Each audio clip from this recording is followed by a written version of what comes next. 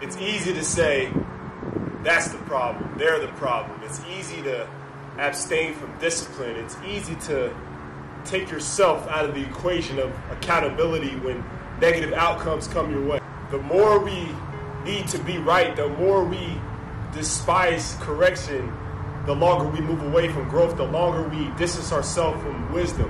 Entitlement is a myth. The only thing we deserve is a chance to respond to the circumstances we're presented with.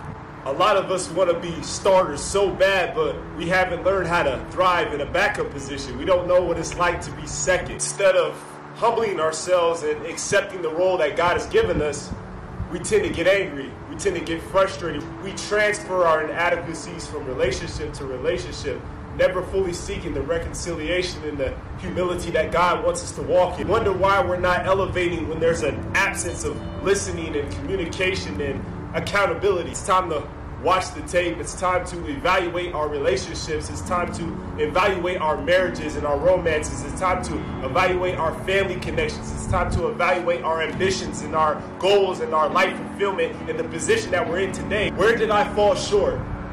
What could I do better? What did God place in front of me that I disregarded? Watch what happens when you start with self. Watch what happens when you assess your decisions and your compromises. Watch how apology, forgiveness, and reconciliation take the place of anger, resentment. Watch what happens when submission wins the day. It's not about the shortcomings and the mistakes and the losses that you endured. It's about your ability to be called and be used. It's about your ability to recognize the hope, the joy, the love that God has for your life if you submit. It's not about indictment. It's about appointment. It's about your ability to cast your burdens up to Him.